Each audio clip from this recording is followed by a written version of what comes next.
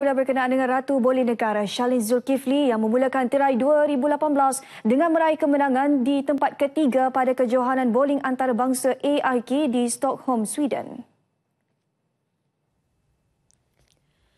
Charlene yang berjaya merangkul pingat emas dan satu perak di kejohanan bowling dunia 2017 Disember lalu di Las Vegas memberikan saingan sengit kepada lawan dari Singapura Bernice Lim dalam aksi final step ladder pertama sebelum tewas dengan 220 berbanding 226 jatuhan pin.